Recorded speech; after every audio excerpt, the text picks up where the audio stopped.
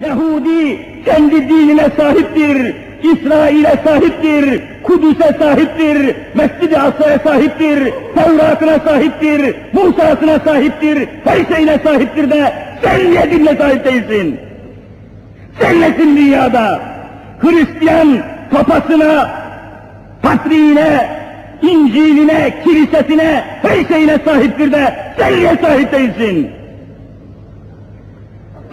Müslümansın? Niçin Muhammed'in ümmetisin? Neye geldin camiye? Neye geldin namaza? İslam'a sahip çıkmayacaksın da, Müslümanlığa sahip çıkmayacaksın da, dinine, imanına sahip çıkmayacaksın da, davana, dünyana sahip çıkmayacaksın da, neye dolaşıyorsun dünyada?